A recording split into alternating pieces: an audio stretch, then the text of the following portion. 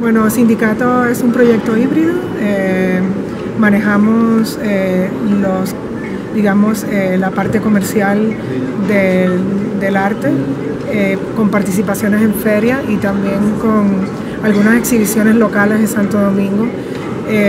por eso nos hacemos llamar híbrido, porque al mismo tiempo también hacemos proyectos más independientes de las instituciones en espacios mucho más alternativos eh, de lo tradicional eh, y nos, eh, digamos, nos constituimos en un espacio que tuviera esos dos tipos de, vertientes, esos dos tipos de actividades para hacer más completa la autogestión. Somos un espacio autogestionado fundado por Laura Castro, Angel Leonardo y yo, Quisqueya Enríquez. Eh, actualmente lo dirigimos Laura Castro y yo.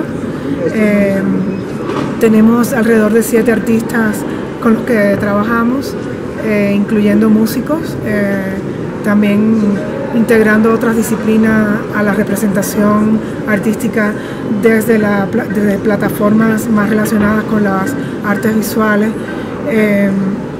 y desde muy, muy temprano eh, entramos al circuito de ferias a través de nuestra primera experiencia fue con Arteba en Buenos Aires y de ahí se fueron eh, desencadenando participaciones e invitaciones a otras ferias como Chaco, Arlima, luego Arbo el año pasado. Eh, también hicimos Arco en la sección de opening, que es la sección para cuando las galerías tienen menos de cinco años y de una forma muy eh, natural, sin buscarlo, eh, empezamos a participar en ferias paralelo a los proyectos locales en República Dominicana.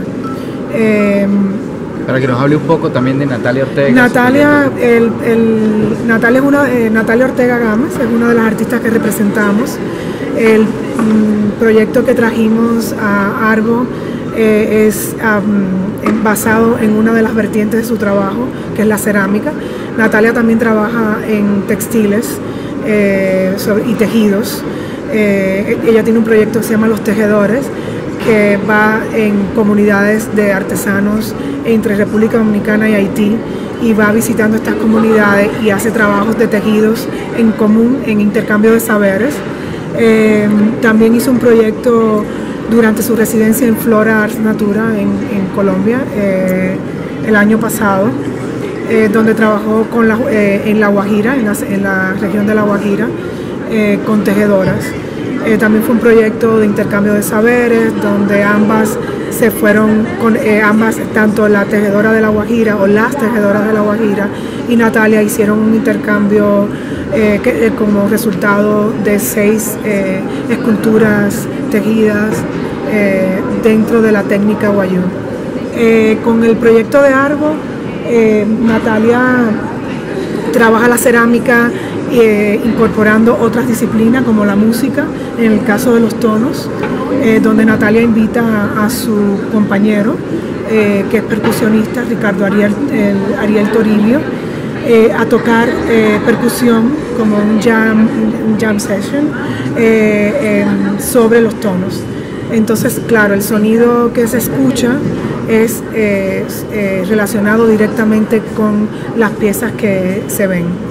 Y en el caso de las sedas, son fotografías eh, de las vasijas, de las cerámicas antes de entrar al, horno. Eh, Natalia, lo interesante de esta, parte, de esta obra es cómo puedes hablar de un medio a través de otro medio.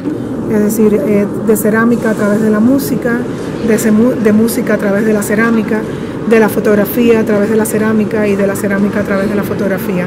Y, ese juego de medios hace muy rico las ideas y los conceptos eh, detrás de esta obra.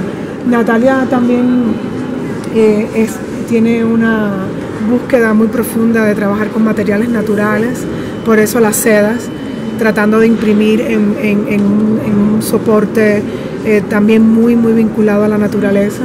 Eh, por eso esa, esa necesidad de no imprimir sobre soportes tradicionales o más tecnológicos, aunque el proceso de imprimir en seda es altamente tecnológico, pero ese, ese eh, aporte que da la tecnología para trabajar sobre materiales naturales, ella lo está utilizando muy bien. Eh, ella también cambia los, las carpas sobre debajo de las cuales trabaja y los tonos de la fotografía no son postproducción, sino es pre, es pre eh, la toma.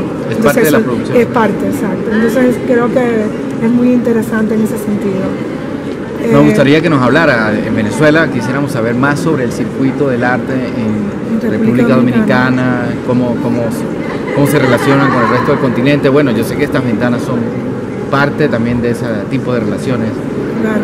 Bueno, la, región del Caribe eh, tenemos esa cualidad de estar muy separados y al mismo tiempo esa, esas distancias, cada vez que nos vemos nos, nos, unimos más, ¿no? Es como esa carencia de, una dinámica más regular, más, más constante, que de forma tal que cuando nos vemos en estos foros y en estas eh, circunstancias, pues unimos más lazos.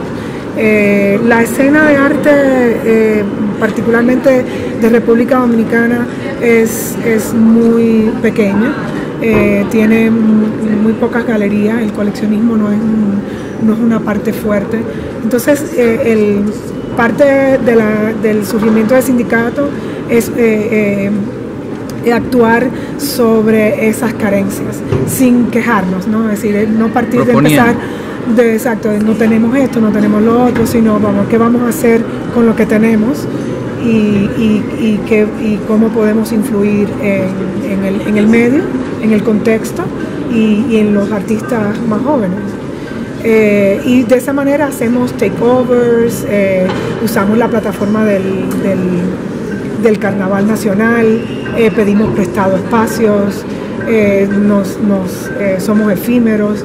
Y yo creo que eh, esa dinámica vale para todo, vale para la crítica, vale para la curaduría, eh, para la investigación, para la investigación, para las instituciones. Eh, entonces, nada, esa, esa energía que da la precariedad de que algo tienes que hacer y marcar tu tiempo en relación a lo que, a lo que estás dispuesto a hacer. Bueno, muchas gracias. No, de nada. Gracias por la entrevista.